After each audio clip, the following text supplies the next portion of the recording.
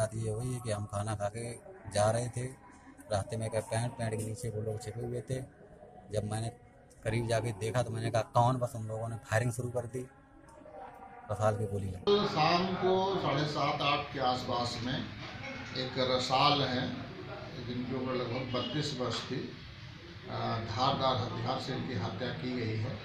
जिसमें इनके साले के द्वारा गाँव के ही, परिवार के ही छः व्यक्तियों को नामित किया गया है। पोस्टमार्टम कराया जा रहा है। बाकी साक्ष्य के आधार पर आगे कार्रवाई